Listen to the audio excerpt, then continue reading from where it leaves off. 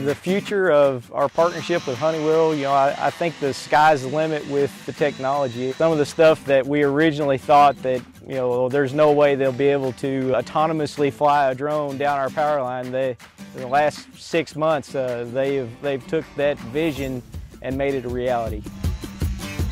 The drone itself is state-of-the-art. We put uh, GPS locations, we put this autonomous algorithm in there, so it follow, we, all we have to do is fly it up and autonomously this thing goes out.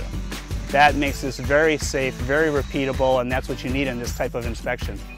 Technology provides us the opportunity to be more efficient, take the human error factor out of the different inspections that we do, allows us to use analytics and algorithms to track different problems that we run into and what that does is it allows us to be proactive rather than reactive in reliability.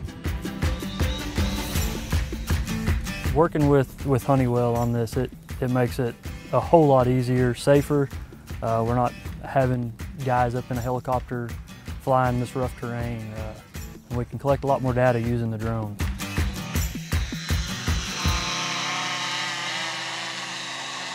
I did not think it'd ever get to this point. I didn't even know what a drone was whenever I started here. I don't even think it was around. It's incredible. It's, it's a great feeling to, to be on the front end of it. What we're doing is allowing those inspectors to be more efficient and cover more ground, therefore making us able to provide a world-changing, world-class service to our membership.